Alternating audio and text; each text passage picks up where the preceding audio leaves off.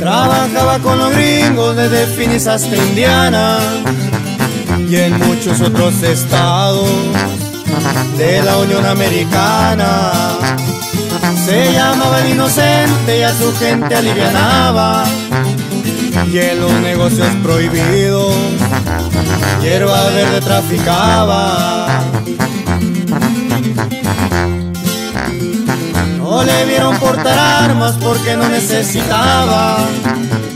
El señor era querido por donde quiera que andaba. Pero gente por envidia la vida le arrebataba. Allá en Obregón, Sonora, la hora mala le llegaba. Era del rancho de Lojito, Sierra de Badiraguato. Traficaba en agua prieta y el chapito era apodado. Con tecates con bucanas para pasar un buen rato.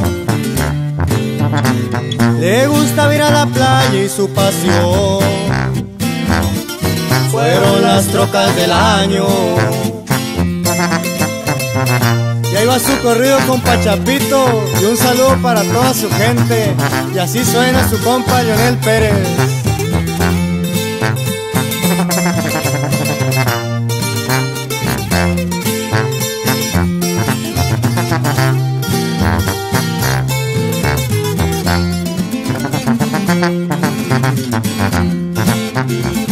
El 28 de diciembre, la fecha de su cumpleaños, ya lo estaban esperando, todos para festejarlo.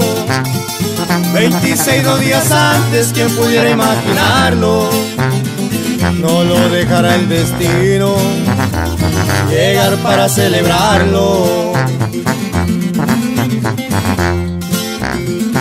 dándole gusto a la vida del presente disfrutando.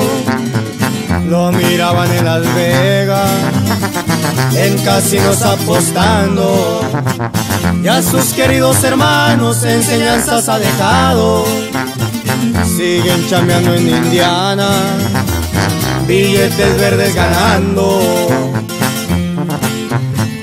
Su padre el señor Don Pedro y su madre Doña Mano se encuentran en el ojito como lo están extrañando. Sus hijos no lloren mucho, de allá los está cuidando. Y el cariño de un buen padre por siempre, por siempre han de recordarlo.